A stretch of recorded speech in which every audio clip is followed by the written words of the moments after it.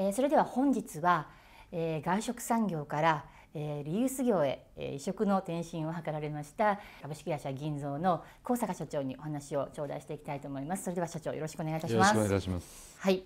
冒頭に少しご紹介させていただきましたが非常にこう変わったご転身をされていらっしゃるということで今日はですね、はい、あのそういった社長のビジネスマンとしてのこれまでのこう生き方について、はい、あのフォーカスをしていろいろお話を伺っていきたいなと思っております、はい、よろしくお願いします。よろしくお願いいたします、はい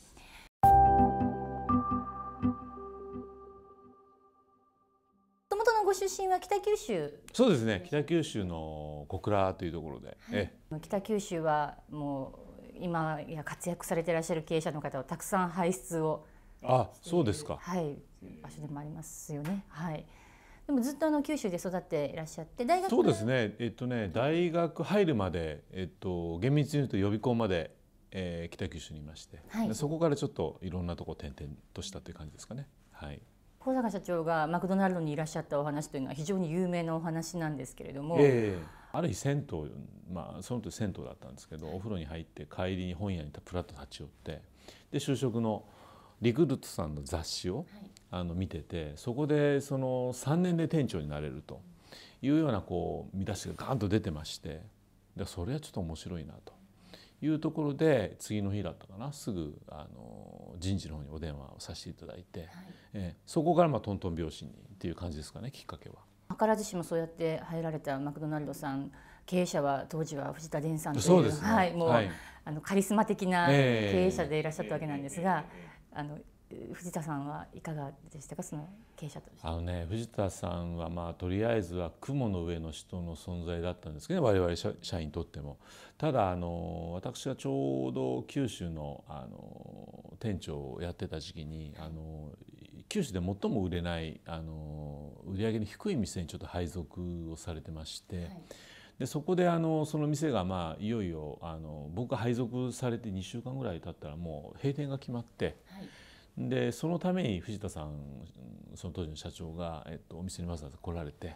あの店長これこれこういう理由であの閉店することになったからっていうところが初めてのこう直接お話をさせていただくきっかけになったというところなんですよね。お会いするのもかなりのあの出来事だと思いますが、またその内容も結構衝撃的なお話ですよね。そう。だったんですけどその当時はまあ僕はまあ行ったばっかりで、まあ、この店をどれだけの期間、ね、短期間で売れる店にしていくかっていうこうなんかギラギラしたものを持ってちょうど行ってた時期なんで、ちょっと待ってくださいよと。であのこれこれこういうふうにしていろんなことを考えてあのこの店をもっとね売れる店にしたいと思ってるんですよと。ちょっと閉店っていうのを考えて考え直していただけませんかっていうことを、まあ、生意気にも申し上げたと。いうのが若さゆえのと言いますか考えたらすごいことですよね。で周りには当然何人もいらっしゃるわけですよね。お付きの方お付きの方でもう当然そのそのお店はあの自社物件で駐車場も持ってたんですけど、はい、もうそこにも駐車場をを建てて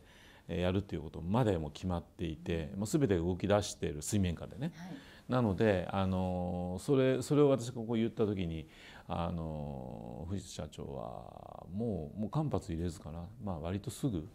あじゃあもうちょっとやってみようかと。いう話をね即座にしていただいてもう周りがもうすぐあの焦ってすぐ電話をかけに行っていろんな話を止めにっていう、まあ、ちょっとご迷惑かけたのかなっていう感じだったんですけどね。藤田伝さんというあの素晴らしい経営者から何か教えをこうたというかその影響を受けた部分っていうのはああいろいろありましたね。やっぱりこう商売の基本というか、うん、そういうのはやっぱり学んだことが大きかったですね。えー、あのその当時その、まあ、閉店を決まったお店をあのもう一回やらせてほしいって、えー、言った時にねやっぱりあのじゃあやれっていうだけではなくってあのヒントを一つやっぱりくださったわけですよ。はい、そのヒントっていうのは何かというとあの宮崎のあのお店だったんですけども九州の。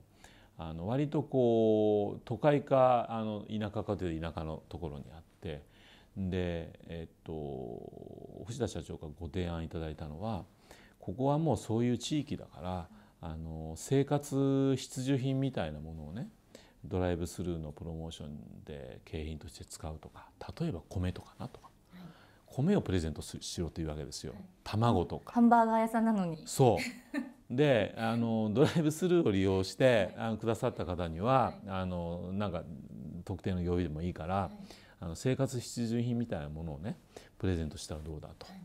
い。うこう一言ポンとヒントをくださったわけですよ。あそうかと。そういうこともやっていいんだと。で僕らのこう常識ではやっぱり今までのこう既成概念で物事をこう考えてたんですけど、やっぱりあの当時マニュアルだマックはマニュアルだってきっちり決められてるっていうふうに言われてたんですけども、やっぱり実は全然違っていてやっぱ商売の基本っていうのはやっぱお客様がご来店していただかないことには、商売に成り立たないと。そのきっかけを作るのは何でもいいんだぞ高坂というようなのを教わったというところですよね。出前のようなことまでされてらっしゃったという。はい、それもやっぱりその当時のこと最初のやっぱりそういうこう衝撃というか教えだったんですよね。だからこう何かのきっかけがあればそれを全てやっぱりお客様の来店の機会につなげるっていうのはまあ常にやっぱ飢えてましたしね。っていうのはやっぱり九州で一番やっぱ売り上げが低いっていう店なわけで。やっぱりお客様のご来店お客様っていうのは本当に神様だって言われてるんですけど本当そう思ってましたよね。だからそのお話っていうのはそのお店のこうお店の前にあのでっかい道路10号線があるんですけど、その目の前にでっかいパチンコ屋さんができて、で普通はパチンコ屋さんができたと。